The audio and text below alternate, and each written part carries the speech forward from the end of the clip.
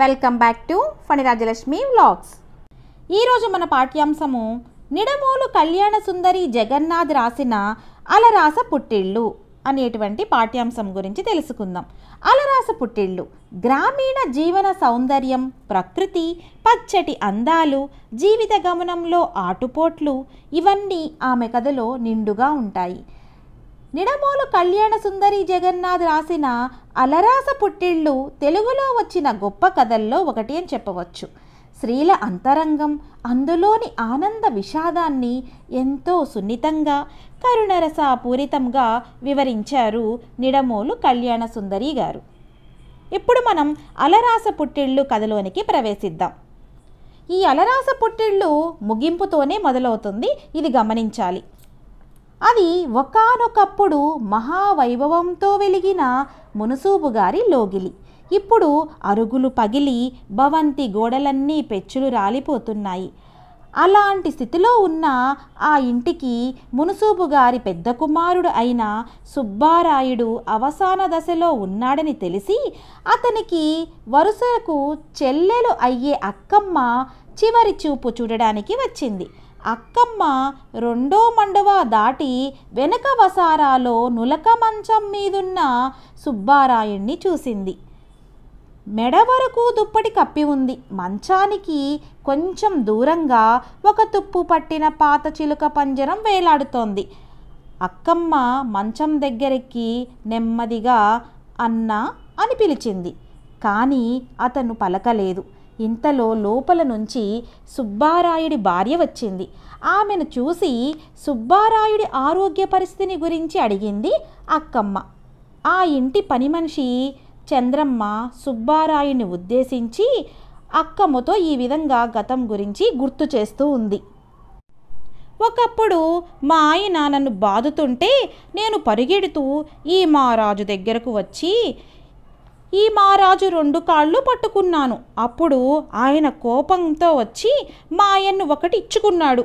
అప్పుడు నాకు కళ్ళల్లో నీరు తిరిగాయి. అప్పుడు వెంటనే నేను మరలా ఆ మహారాజు కాళ్ళు పట్టుకొని కొట్టొద్దని వేడుకున్నాను.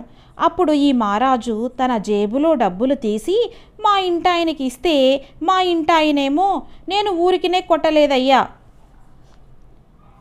నేను గొడ్డులా పనిచేసి సాయంత్రానికి ఇంటికొచ్చేసరికి ఇది నాకు అన్నం వండి పెట్టకుండా మా ఇంటి పక్కన కుర్రాడితో కబుర్లు చెప్తూ ఉంది. వాడేదో చెప్తుంటే ఇదేమో నవ్వుతూ ఉంది. ఇంకా ఈ మహారాజా విషయం విన్న తర్వాత రెండు కళ్ళు చింతనిప్పులయ్యాయి. ఇది ఈసారి మీ ఇంటి పక్క కుర్రాడితో మాట్లాడితే గనక దీన్ని ఒక్కేటిన నరికేయరా అన్నాడు ఈ అయ్యగారు.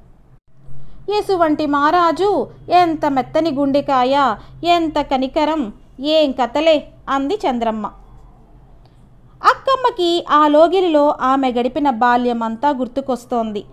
ఈ ఇంటి సిరి సంపదలేమైపోయినాయే చంద్ర? రోజులెట్లా మారిపోయాయో అంది. ఎందుకు చెప్తారమ్మా? ఆ సత్తమ్మ గారి పెళ్ళయింది. లక్ష్మి వెళ్ళిపోయింది ఒకేలా శాపమా?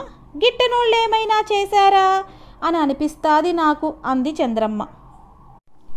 సత్యవతి పేరు ఎత్తేసరికి అంకమ్మ మనసు బరివెక్కిపోయింది. సత్యవతి అంకమ్మ కలిసి పెరిగారు. అక్కమ్మ తండ్రి వీరయ్య మున్సూపు గారిని ఆశ్రయించి ఆ లోగిట్లోనే ఉండిపోయాడు. తల్లి లేని సత్యవతికి అక్కమ్మ తల్లే పాలిచ్చి పెంచింది. సత్యవతి అక్కమ్మ ప్రాణ స్నేహితురాళ్ళు. అక్కమ్మ మనసులో ఆ జ్ఞాపకాలు బాధతో కదిలాయి. అదంతా సుమారు నలభై ఏళ్ళ క్రితం జరిగిన గాథ. ఇది మనం ఫ్లాష్ బ్యాక్లోకి వెళ్తున్నాం. సుబ్బారాయుడు మునుసూబు గారి పెద్ద కొడుకు. అతడికి ఆరుగురు తమ్ముళ్ళు ఒకే ఒక్క చెల్లెలు సత్యవతి. సుబ్బారాయుడంటే అందరికీ భయం.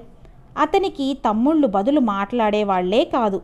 అతడు చావిట్లో ఉంటే ఆడపిల్లల గొంతులు ఆ ప్రాంతంలో వినిపించవు. తండ్రి మునుసూబు గారు కూడా కొంచెం దూరంగానే ఉంటారు. ఆ రోజుల్లో సత్యవతి గాలిలో పువ్వు ఎగిరినట్లుగా బంగారం జడకుచ్చులతో కాళ్ళ గజ్జెలతో లోగిలి ఆవరణ అంతా ఎగిరి ఆడుతూ ఉండేది. ఓ రోజు ఉదయం చెంగల్వరాయుడనే యువకుడు కొందరు బండి వాళ్ళతో కలిసి మునుసూపు గారింటికి వచ్చాడు. అతని చేతి మీద గీసుకుపోయిన గాయాలు కూడా ఉన్నాయి. తాము పక్క బస్తీ నుంచి ధాన్యం అమ్ముకోవడానికి ఇక్కడికి వచ్చామని ఈలోపు చెంగల్వరాయుడు తండ్రి చెరువులో వంట కోసం నీరు తీసుకురావడానికి దిగినప్పుడు ఏ పామో కరిచి మరణించాడని చెప్పి చెప్పారు. అంత్యక్రియలకు గాను ధాన్యం తీసుకొని కొంత డబ్బు ఇప్పించమని కూడా అడిగారు. ఇది విన్న సుబ్బారాయుడు అంతా మేమే చూస్తాము అన్నాడు. మునుసూపు గారు అడిగితే చెంగల్వరాయుడు అతని వివరాలు కూడా చెప్పాడు. ఇంతలో లోపల నుంచి గుమ్మంలోకి వచ్చిన సత్యవతి చెంగల్వరాయుడిని చూసి లోనికి పోయి తడిపిన గుడ్డ ఒకటి తీసుకువచ్చి గుమ్మంలో నుంచి చెయ్యి చాపింది. సుబ్బారాయుడు సత్యవతిని ఏంటది అని గర్దించాడు అంటే ఇక్కడ మీరు ఒకటి గుర్తుంచుకోవాలి. అప్పట్లో ఆడపిల్లలు మగవాళ్ళతో చనువుగా ఉండేవారు కాదు అని. మగవాళ్ళతో మాట్లాడటం కూడా అంతగా ఉండేది కాదు. గుమ్మం మీద గుడ్డ పెట్టి వెనక్కి వెళ్ళిపోయింది సత్యవతి. చెంగల్వరాయుడు ఆ గుడ్డను అందుకొని తన రక్తపు మరకలను తుడుచుకున్నాడు. అసలు ఈ చేతికి గాయం ఎలా అయింది అంటే వాళ్ళు పక్క గ్రామం నుంచి వచ్చారు కదా ధాన్యం అమ్ముకోవడానికి. అప్పుడు చెంగల్వరాయుడి యొక్క తండ్రి నీరు కోసం చెరువులోకి వెళ్ళి మరణించాడు. ఈలోపు వంట చెరుకు కోసం పైకెక్కినటువంటి చెట్టు పైకెక్కినటువంటి చెంగల్వరాయుడికి ఆ చెట్టు కొమ్మలు గీసుకుపోయి కింద పడిపోవడం జరుగుతోంది. ఆ విధంగా చేతికి గాయం అనేది జరిగింది. చెంగల్వరాయుడు ఆ గుడ్డను అందుకొని రక్తపు మరకలను తుడుచుకున్నాడు. ఆ తరువాత మునుసూబు గారు చెంగల్వరాయుడిని ఉండిపోమ్మంటే ఆనాటి నుంచి చెంగల్వరాయుడు మునుసూబు గారికి కుడి భుజంలా ఉంటూ ఆ లోగిలిలోనే ఉండిపోయాడు. సత్యవతికి చెంగల్వరాయుడిని చూస్తే కన్ని తల్ కన్న తల్లి ప్రేమ గుర్తొస్తుంది. ఈ సత్యవతికి చెంగల్వరాయుడికి సుమారు ఏడు ఎనిమిది సంవత్సరాల వ్యత్యాసం మాత్రమే ఉండేది. అతను పొలానికి వెళ్ళినా బయటకు వెళ్ళినా అతని రాక కోసం ఎదురు చూస్తూ ఉండేది. అతను ఆమె బాగోగులను కనిపెట్టుకొని చూస్తుండేవాడు. కొంతకాలానికి సత్యవతి పెద్దదయ్యింది. ఆంక్షలు కట్టుబాట్ల పేరిట ఆమెను గడప దాటనివ్వడం లేదు. కానీ ఆమెకి చెంగల్వరాయుణ్ణి తలుచుకుంటే దేవగానం వినిపించినట్లయ్యేది. అతని ఎదుట పడినప్పుడల్లా ఆమె ముఖంలో వన్నెలు వచ్చేవి. ఓసారి గూడు నుంచి పడిపోయిన ఒక చిలుకని తెచ్చి ఆమెకిచ్చాడు. పట్నం నుంచి ఓ పంజరం కూడా తెచ్చాడు. ఆమె ఆ చిలుకకి మాటలు పాటలు నేర్పేది. ఓ రోజు చెంగల్వరాయుడు సత్యవతిని దోసెడు ముత్యాలలోనూ దోసెడు రత్నాలలోనూ పుట్టావు నువ్వు. నేనంటే ఎందుకిట్లా నీకు? అని అడిగాడు. నా పుట్టక మాటకేం గాని నువ్వే నాకు పుట్టెడు బంగారం అంది సత్యవతి. వారిద్దరి మధ్య ఉన్న ఈ మైత్రిని ఇంటో వాళ్ళు కనిపెట్టేశారు. ఓ రోజు వయసుకు వచ్చిన పిల్ల అతగాడితో ఈ సత్యం ఏమిటండి? అంది సుబ్బారాయుడితో అతని భార్య. అతను ఉలిక్కి పడ్డాడు. ఆ రాత్రి సుబ్బారాయుడు మందలించడంతో చెంగల్వరాయుడు మర్నాడు తెల్లవారక ముందే తన బండి కట్టుకొని వెళ్ళిపోయాడు. అక్కమ్మ లేచి చూసేసరికి సత్యవతి గదిలో లేదు. అక్కమ్మ ఆమెను వెతుక్కుంటూ వెళ్ళింది. పున్నయ్య కోనేటి పక్కనే ఓ చెట్టు కింద సత్యవతి తెల్లటి ఉత్తరీయాన్ని హృదయానికి అత్తుకొని పడుకుంది. అది ముందు రోజు రాత్రి చెంగల్వరాయుడు వేసుకున్నదే. అది అక్కమ్మ కనిపెట్టింది. ఎందుకని అంటే ఆ రోజు రాత్రి సుబ్బారాయుడు చెంగల్వరాయుడిని గదిలోనికి పిలిచాడు.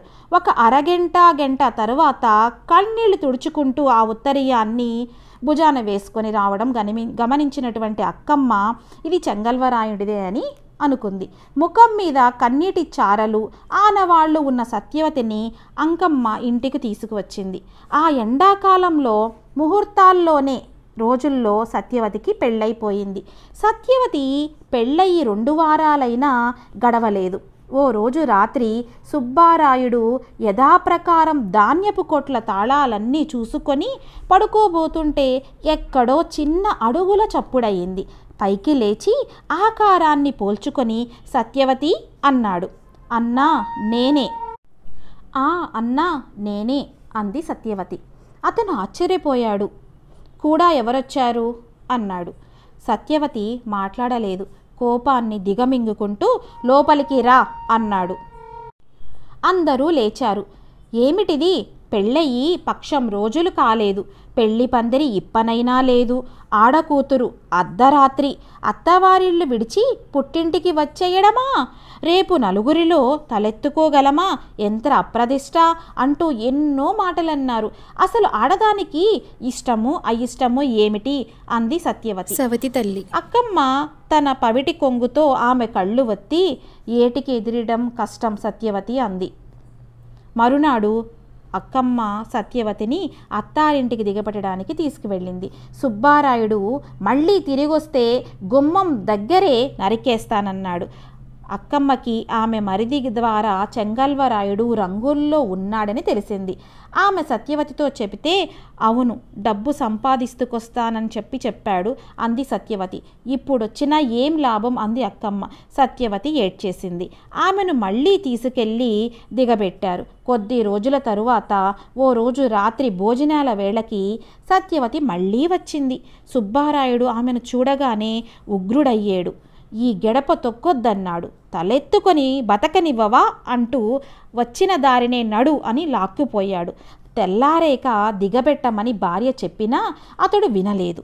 సుబ్బారాయుడు ఇంటికి తిరిగి వచ్చేసరికి తెల్లారింది. ఇక ఆ తరువాత ఎక్కడా సత్యవతి జాడ కనిపించడం లేదు. మునుసూపు గారు దిగులుతో మూడు నెలలు కాకుండా కాలం చేశారు.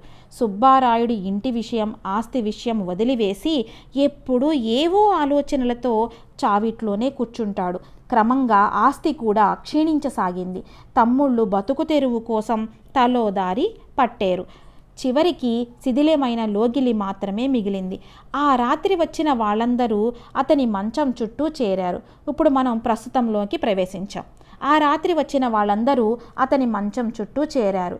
సుబ్బారాయుడికి ఆయాసం ఎక్కువయింది అక్కమ్మని చూస్తూ సత్యవతి ఇంకా రాలేదా? అన్నాడు. లేదన్నా అంది అక్కమ్మ. అక్కమ్మ ఇక మీదట సత్యమ్మ సంబరాలు చేయిస్తావా? ఆ యమ్మ పేరే సత్యవతిది అంట అన్నాడు. అట్లాగే అంది అక్కమ్మ. తెల్లవారుతోండగా సత్యవతి సత్యవతి అని గట్టిగా అరిచాడు సుబ్బారాయుడు. అక్కమ్మ అన్నా అన్నా వస్తాదిలే పడుకో అంది. ఎర్రిదానా. సత్యవతి రాదు గోనేరు మింగేసింది. ఆ రోజు బల్లకట్టులో కన్నయ్య లేడు. నేనే బల్లకట్టు వేశానే అక్కమ్మ. ఎక్కనందే చేత్తో లాగి బల్లకట్టు మీద పడేశానే బల్లకట్టు మీద నుంచి నీటిలోకి పోయిందే. నేనే నేనే నా చేతులారా అంటూ సుబ్బారాయుడు కళ్ళు మూతల పడ్డాయి. అతని తల దగ్గర పెట్టడానికి చంద్రమ్మ దీపం వెలిగించుకొచ్చింది. సుబ్బారాయుడు చిన్ననాటి నుండి ఎంతో గారాభంగా పెంచుకున్న ఒక్కగానొక్క చెల్లెలు సత్యవతి. ఆ లోగిలిలో తల్లి లేకపోయినా సుబ్బారాయుడి పెంపకంలో ఆమె ఓ అపురూపంగానే పెరిగింది. అయితే చెల్లెలంటే అతనికి అంతటి ఆప్యాయత అభిమానం కలిగిన సుబ్బారాయుడు చివరికి ఆమె కోరుకున్న జీవితాన్ని మాత్రం అందివ్వలేకపోయాడు. కేవలం తన కుటుంబ గౌరవం కోసం కట్టుబాట్ల కోసం పరువు ప్రతిష్టల కోసం తన చేతులారా చెల్లిని గోనేరులో ముంచేశాడు. ఆ అపరాధ భావంతో మానసికంగా కుంగిపోయి సుబ్బారాయుడు జీవితాంతం జీవోత్సవంలాగా బతికాడు. సత్యవతి మరణంతో సుబ్బారాయుడి లోగిలి వైభవం అంతా క్షీణించి శిథిలమైపోయింది.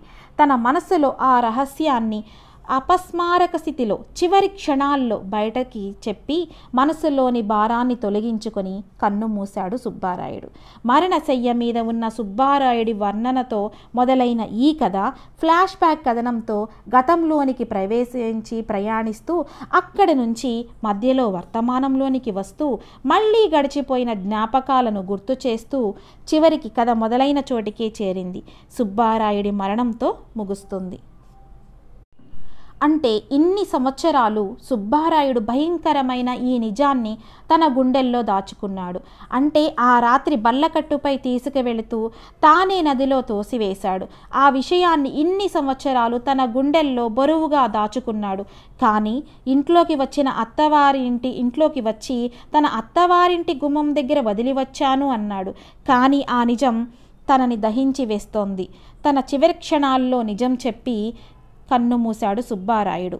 ఇది అలరాస పుట్టిళ్ళు ఆనాడు వైభవంగా బతికిన పుట్టింట్లో ఒక యువతి కథ అలరాస పుట్టిళ్ళు